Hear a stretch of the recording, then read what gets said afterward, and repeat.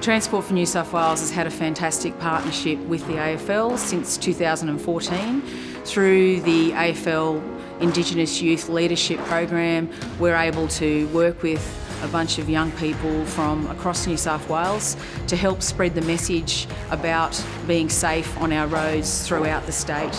A lot of our Aboriginal and Torres Strait Islander peoples within New South Wales who are playing AFL are from regional areas, so we know a lot of them are travelling to games. We know they have to make great decisions on the road, and also they have to, you know, be accountable for their parents or their drivers making great decisions. So it's really great to have transport come in and um, share a little bit about road safety and get the girls to think a little bit deeper about it, so they also make great decisions. Make sure you always have your seatbelt on properly. Um, don't let anyone distract you.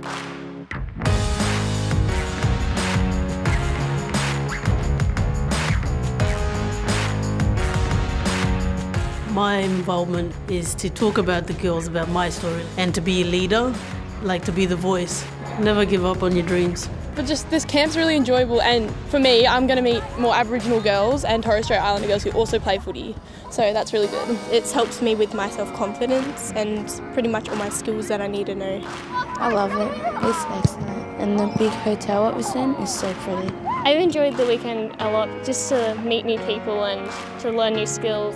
Road safety is everyone's business and it is being part of that bigger team in the community and I mean team sport teaches us how important it is um, to think about others and be aware of how your actions affect people around you and road safety is the same so being aware, being cautious and looking out for each other is really crucial.